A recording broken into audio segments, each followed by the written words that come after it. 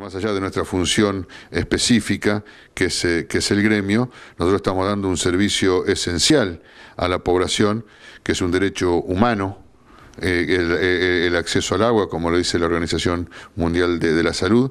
Entonces, como trabajadores del, sector, como ustedes saben, nosotros también hasta tenemos, no, casi que no podemos realizar huelga porque estamos dando un servicio esencial, lo damos en condiciones a veces pésimas eh, de, trabajo porque no tenemos los elementos mínimos eh, ni necesarios, pero como es nuestro deber dar un servicio, los, los hacemos en estas condiciones, más allá de a veces de los riesgos que corren nuestros compañeros trabajando en plantas potabilizadoras, en plantas depuradoras, que no están en condiciones de que un trabajador entre a trabajar, como es el caso de la planta eh, de, Bahía Blanca. En la planta eh, de, Bahía Blanca, bueno, eh, hay un problema no quiero ser muy específico en los temas, pero hay un problema con la sala de declaración, que si fuéramos a cumplir las leyes de contrato de, trabajo, seguramente ningún trabajador tendría que entrar, pero esto traería un problema gravísimo a la población. Y nosotros eso nunca lo vamos a hacer, vamos a poner nuestros todo nuestro sacrificio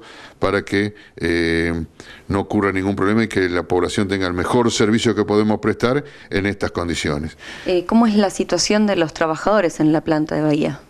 Y los trabajadores estamos trabajando en forma muy, muy, muy, muy precaria. Esto lo venimos denunciando en el Ministerio de Trabajo desde hace mucho tiempo. Nunca hemos tenido respuesta, pero ustedes entienden que estamos en una coyuntura. Nosotros no, podemos dejar de prestar el servicio. Tenemos que prestarlo de la forma eh, en, que podamos. Por eso pedimos comprensión a la población y pedimos a las autoridades también que nos escuchen, que, que que entiendan bien esto de, de, qué se trata. Y nosotros nos ponemos a disposición del gobierno de la provincia de Buenos Aires para volcar todo nuestro conocimiento, todo lo que hemos trabajado eh, estos años para lograr las soluciones que el bonaerense necesita.